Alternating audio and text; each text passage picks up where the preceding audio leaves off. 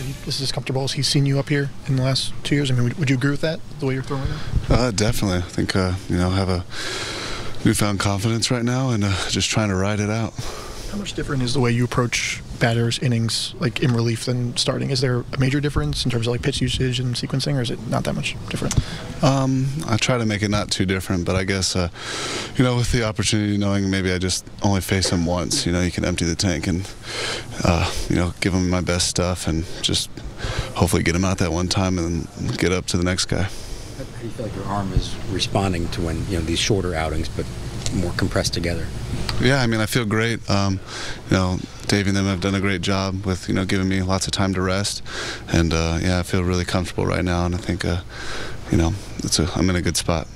Part of you kind of want to see now what happens when you go two out of three days, or even back to back. Are you, you mentally there yet, or physically there yet? Yeah, I'm for sure. Uh, I guess curious, but uh, no, I think it's something I can handle, and uh, you know, I look forward to you know the new challenges that come from being in the bullpen.